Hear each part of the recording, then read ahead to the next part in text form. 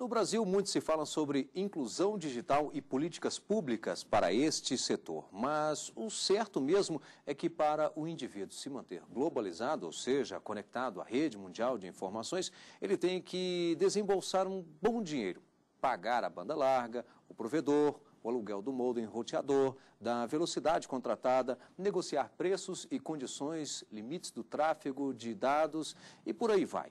A questão é tão complexa que o, a Academia Jurídica está de olho no setor. Vamos debater o direito digital, trabalho do mestre Vitor Hugo Pereira Gonçalves. Inclusão digital como direito fundamental. Dissertação apresentada à banca examinadora da Faculdade de Direito da Universidade de São Paulo para obtenção do título de mestre, tendo como subárea de concentração direitos humanos. Confira também parte da bibliografia base deste trabalho e as últimas publicações de teses e dissertações que estão ganhando o mercado editorial.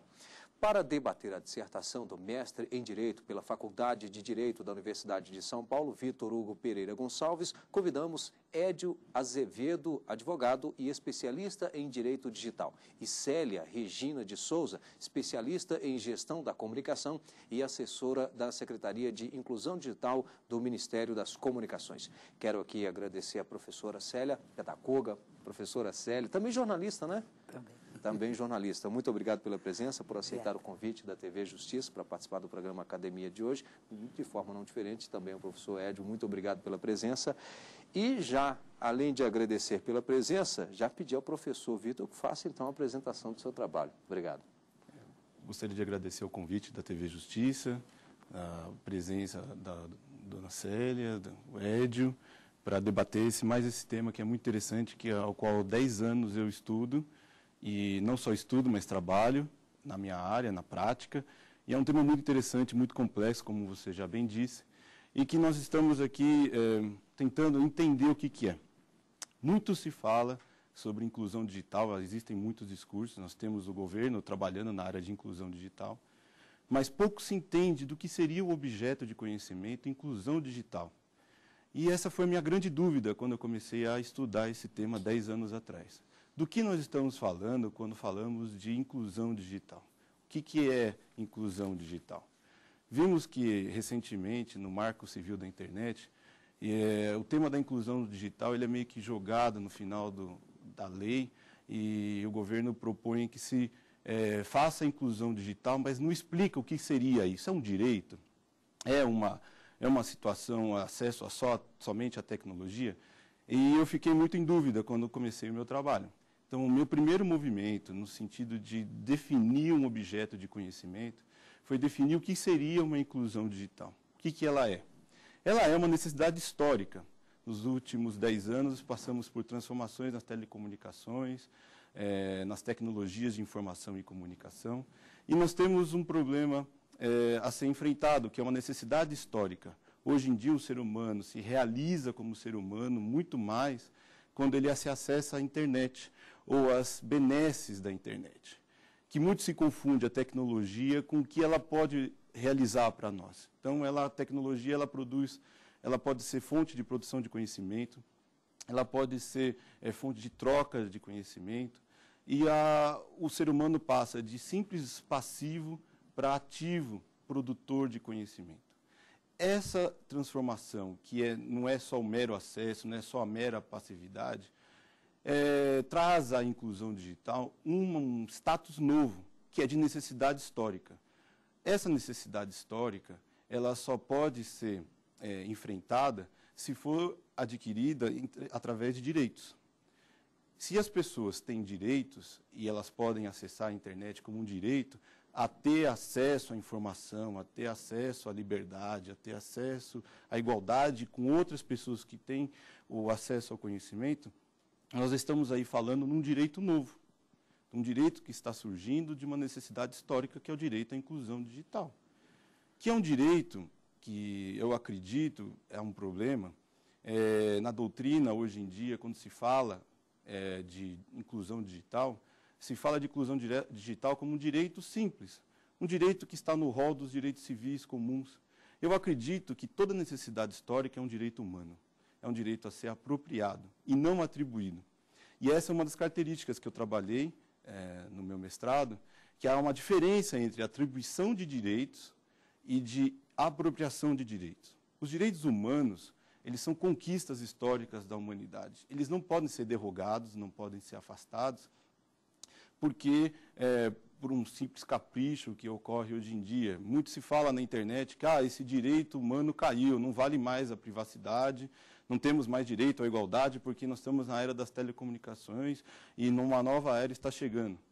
Eu discordo disso. Os direitos humanos são construções históricas, são necessidades humanas e nós temos que é, não só enfrentá-los, nós temos que colocá-los dentro das tecnologias. O tecnológico é uma extensão do ser humano.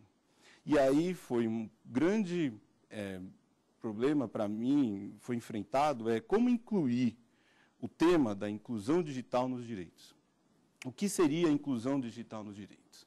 E muito me deu trabalho porque o direito está sofrendo uma série de consequências graves de que eles não estão dando resposta às questões eminentes de internet. Hoje em dia nós temos muitas questões de é, pedofilia, crimes informáticos, é, honra, o que é honra na internet?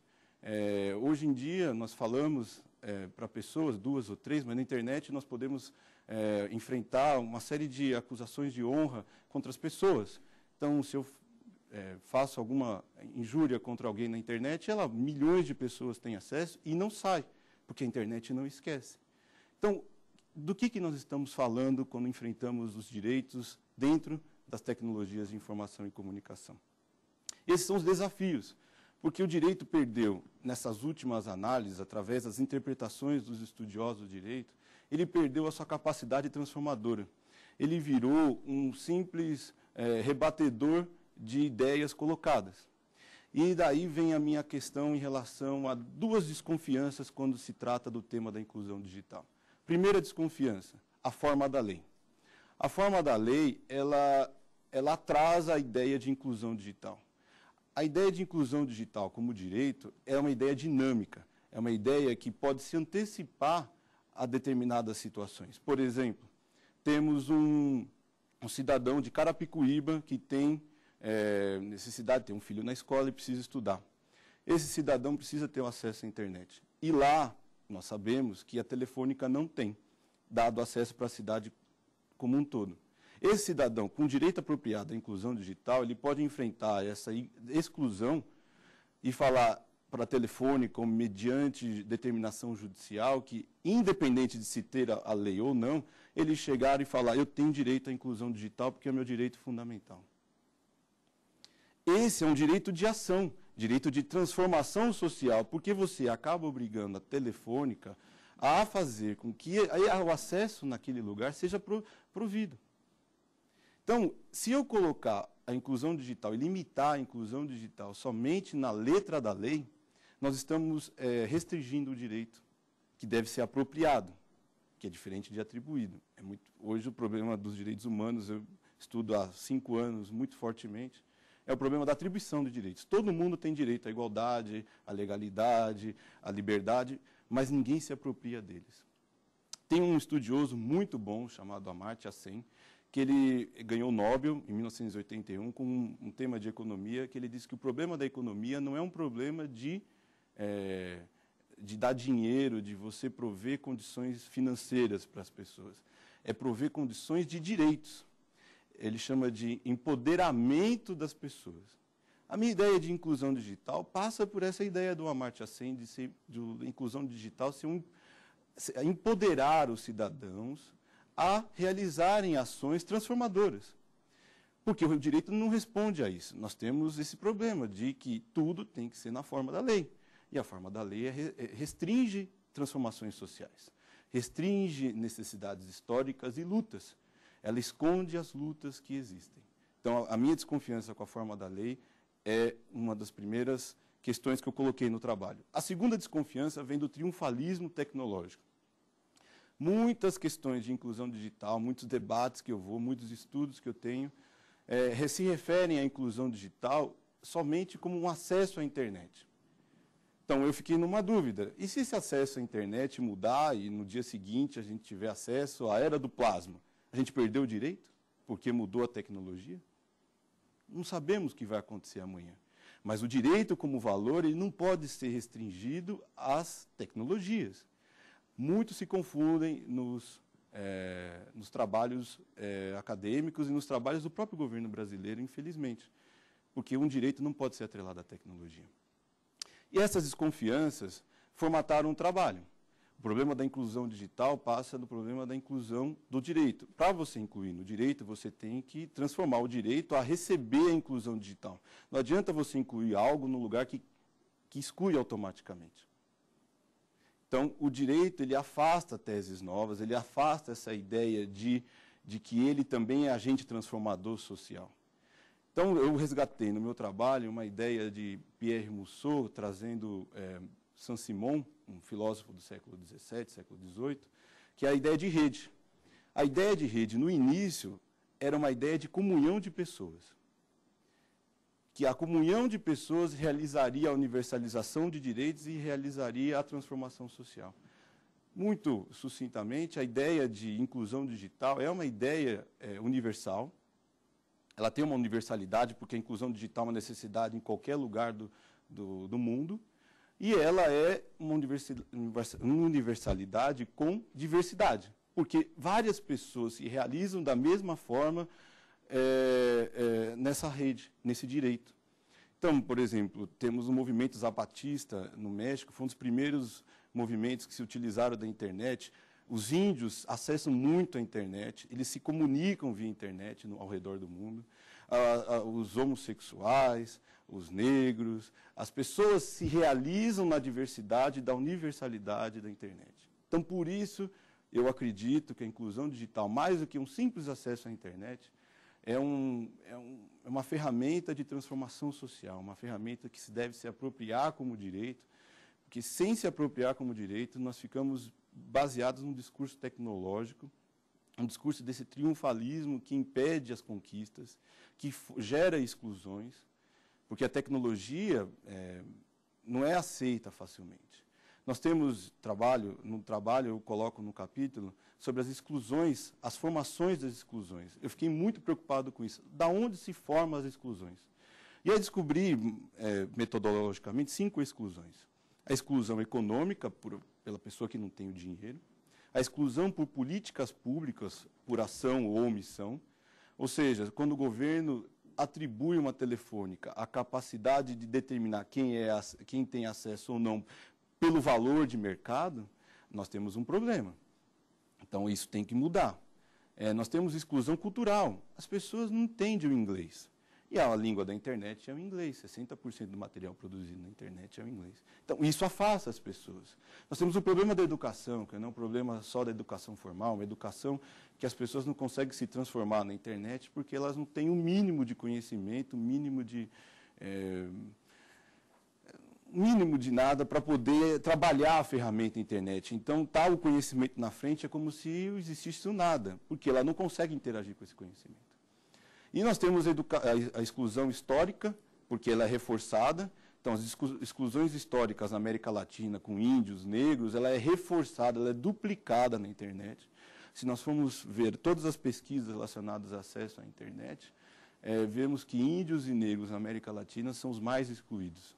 Nós vamos agora conferir parte da bibliografia base utilizada neste estudo do professor Vitor Hugo.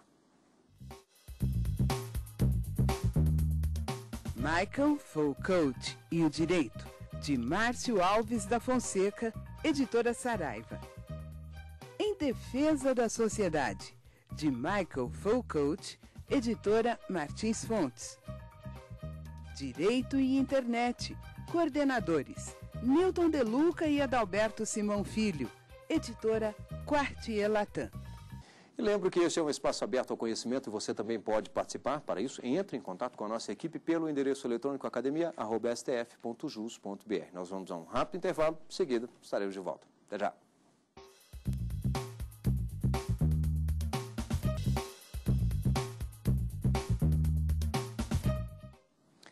Hoje, o Academia debate a dissertação do mestre em Direito pela Faculdade de Direito da Universidade de São Paulo, Vitor Hugo Pereira Gonçalves, Inclusão Digital como Direito Fundamental.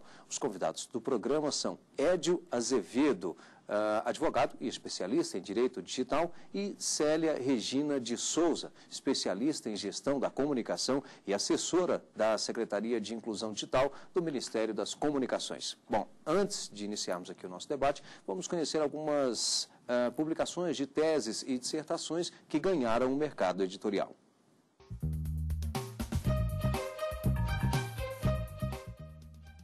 Sociedade em Comum, Disciplina Jurídica e Institutos Afins.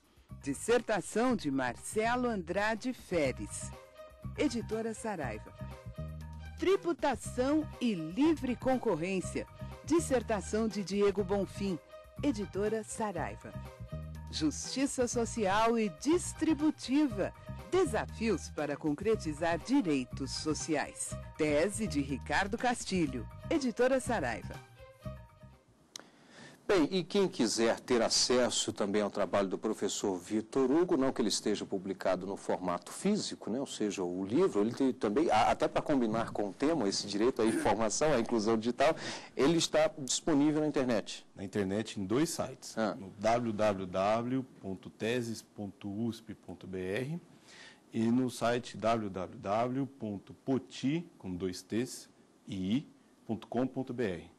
Todos eles podem ser acessados gratuitamente e vocês podem participar e contribuir com o engrandecimento dessa questão da inclusão digital como direito fundamental. Ok, tá aí então, www.teses.usp.br e www.poti, 2T, 2Ts, e .com.br. Convido, gostaria de contar aqui com a professora Célia para fazer, para dar início aqui ao nosso debate. Queria agradecer primeiro o convite e queria parabenizar é, o Vitor Hugo pela iniciativa, pelo direito voltado é, à questão da inclusão digital, por esse seu olhar.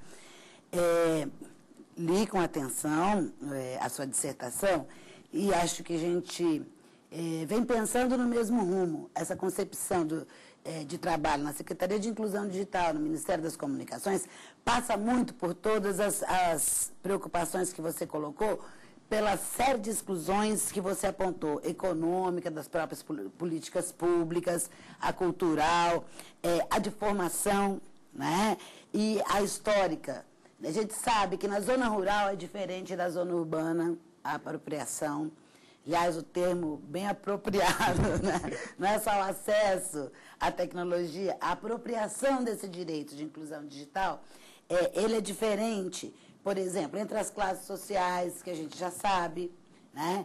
ele é diferente nas várias regiões geográficas do, do, é, do nosso país. No Sudeste, ele é completamente diferente do, do Nordeste e, e, do Norte. Né? Então, são vários aspectos que a gente tem que enfrentar é, quando se propõe a falar de inclusão digital. Acho que também a gente tem boas notícias é, a TIC Domicílios 2011, que é um trabalho da, do Comitê Gestor da Internet no Brasil, do CGI, ele mostra que cresce a posse do computador nos domicílios brasileiros. Né? Ela vem crescendo, acho que a gente vê isso nas nossas casas, nas nossas vizinhanças, inclusive. Né? As tecnologias móveis estão avançando. É, o uso da internet nos domicílios, ele, ele vem substituindo em muito o acesso que é, principalmente é, classe C, alguns setores da nossa sociedade faziam nas lan houses. As lan houses estão buscando a sua nova vocação porque é, o computador está chegando em casa. Uhum. Né? O computador e a internet. Está é, crescendo a proporção de brasileiros que compram na internet.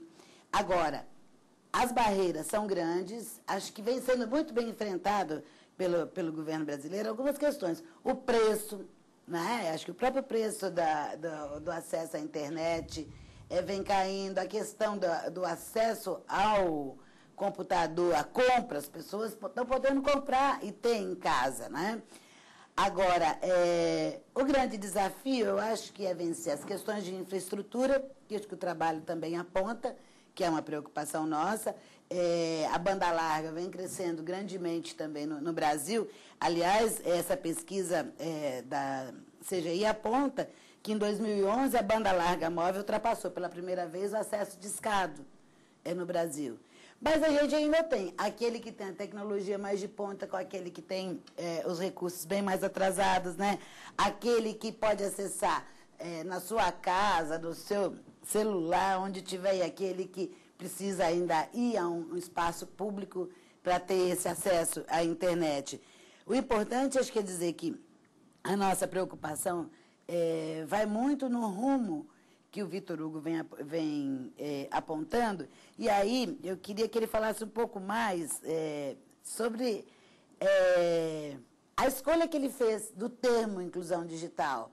Né? Você analisou vários outros termos, divisão digital, apartheid, quer dizer, de todas as formas que se falam, é, você se deteve é, nesse aspecto, é, o, o termo específico, inclusão digital, nele e no que você aponta também como o seu contrário, que ele chama para o. Queria que você falasse um pouco mais sobre isso, que acho que isso ajuda bastante no avanço dessa discussão. É, uma das minhas preocupações sempre foi definir o objeto. Né? Nós começamos a definir o objeto pelo nome.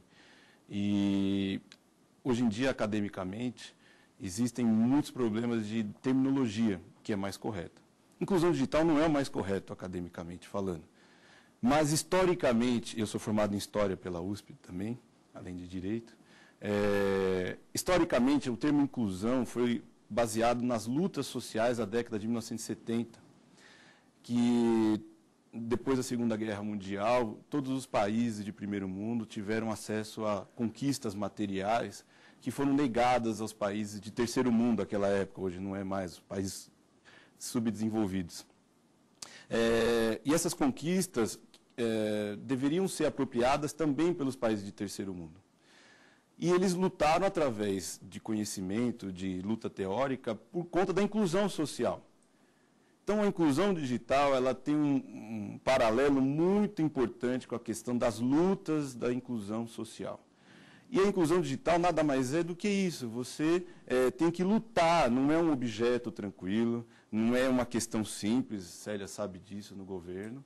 É, e é uma luta. E a luta é importante para você conquistar direitos.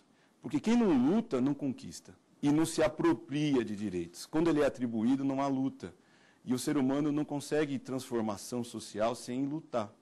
Então, a inclusão digital, ela parte dessa questão de valor, que é muito importante no meu trabalho, que sinto falta na legislação que existe hoje em dia, principalmente do Marco Civil. O Marco Civil tem um problema de lacuna de valores e de princípios ele é muito técnico. E o termo inclusão digital, ele por si só ele tem aquela carga valorativa que faz com que o direito seja apropriado e que você lute por ele. Eu quero ser incluído. Eu quero ir, a, eu quero ir onde está o conhecimento, eu quero produzir o meu conhecimento, eu quero ser visto. A questão dos direitos humanos tem muito relação com eu quero ser visto. Eu quero lutar contra a opacidade do, da, dos dominadores e eu quero buscar um lugar nesse mundo. Então, inclusão digital, em termos de é, próximo à inclusão social, o que é diferente do que o americano chama de digital divide, que nada mais é do que a diferença entre você ter ou não ter a tecnologia. E essa é uma, da, uma briga minha, porque é, nós estamos importando modelos americanos para o Brasil e para a América Latina. Nós estamos construindo uma identidade diferenciada da deles. E buscar o termo inclusão digital é buscar uma identidade latino-americana, africana, asiática, de todos aqueles que foram excluídos eu acho que é muito mais apropriado usar a inclusão. E eu gostaria muito que, a partir desse momento, dessas discussões que estão sendo levantadas, o governo brasileiro utilizasse somente inclusão digital e não acesso à internet como está sendo utilizado na comunidade europeia, que é o direito ao acesso à internet como direito fundamental. Não é. É inclusão digital. Professor Édio Azevedo. Obrigado. Eu gostaria de agradecer a oportunidade de estar participando de um programa que pode promover um debate é, acadêmico desse nível e, de, e, que pode ser assistido por todos que estão em casa. É, gostaria de parabenizar o professor Vitor Hugo pelo trabalho. É uma dissertação que tem aliando a necessária erudição acadêmica há, há um outro aspecto que é o mais relevante, que é uma aplicação prática, que é o que a gente deseja como resultado dos trabalhos acadêmicos e, em regra, os bons trabalhos trazem boas aplicações práticas. É, puxando esse gancho da internet, uma pesquisa de 2010, é, realizada por um instituto canadense, traz a informação, e para mim é até surpreendente, de que 91% dos brasileiros eles, eles gostariam de ter o acesso à internet em alta velocidade como um direito fundamental. É, nessa mesma linha, a PEC 479 de 2010, apresentada pelo deputado Sebastião Bala Rocha, é, sugere a inclusão no rol dos direitos fundamentais, especificamente do acesso à internet em alta velocidade. Fazendo um contraponto com isso, é, logo na introdução do trabalho, o professor Vitor é, nos traz a informação que a maioria de nós conhece de que a internet no Brasil é uma das mais caras e ineficientes do mundo. E ele atribui a isso o fato de que há uma mistura de deficiência regulatória, incompetência política e incapacidade judiciária. Então, eu gostaria de saber, e ouvir a opinião do professor, é, o que pode ser feito de imediato ou nos próximos anos, tanto pelo Poder Executivo, quanto Legislativo, quanto o Judiciário, o que esperar dos poderes é, no, na aplicação do direito à inclusão digital? Muito boa pergunta. É, vamos uma parte que eu enfrento todo dia, que é o Judiciário. É, o Judiciário não entende o que, que é internet, não sabe do que nós estamos tratando e ele não entende qual a necessidade da população eles não sabem nem como utilizar as transformações do processo eletrônico.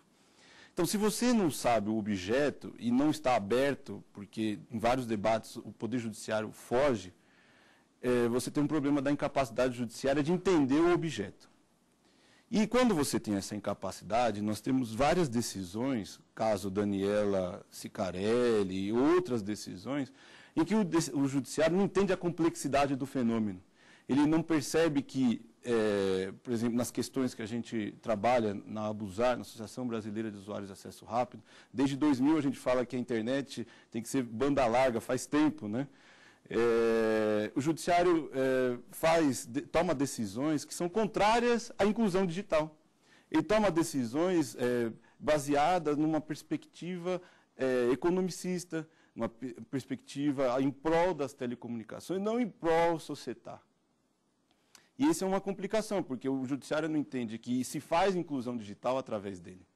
Que se ele entender a inclusão digital como necessidade da população, ele poderia implementar a inclusão digital. Por exemplo, na questão do provedor de acesso à internet na banda larga. É, eu acredito que nós temos dois problemas. O problema de você onerar o custo do serviço, que é, fica mais caro, então você a, a, telefônica cobra X e o provedor que não é necessário cobra mais 20. Então você inviabiliza economicamente a inclusão. E por outro lado, você é, é, inviabiliza também é, análise de crimes informáticos. Como é que você vai capturar um pedófilo se você não sabe quem é o provedor de acesso? Eu posso falar, ó, meu provedor é o UOL, é, não é, o, não é a telefônica porque é assim que a justiça determina. Então, quer dizer, é um, fica uma lacuna jurídica muito grande. Então, essa incapacidade do judiciário atrapalha o desenvolvimento da internet no Brasil. O, em relação ao governo brasileiro, e nos últimos anos, no governo Lula, houve um, um incremento muito interessante. O Lula caminhou muito bem nas políticas públicas, ele deixou encaminhado agora o projeto de inclusão digital, que a, a Célia está aqui com a gente, é, e falta caminhar mais e caminhar mais é enfrentar essa situação, por exemplo, das telecomunicações de infraestrutura. Quem atribui quem vai ser incluído ou não são as empresas eh, multinacionais. Não é o governo que atribui. Eu quero aqui agradecer ao professor Vitor Hugo e parabenizá-lo pelo trabalho. É, acredito que ficou com um pouquinho a sensação de quero mais, né? Sim. Agradecer também a, a Célia Regina e ainda também ao professor é, Edio Azevedo, que aqui compareceu, que é, nos ajudou nesse debate no programa Academia de hoje. Obrigado e até o próximo programa.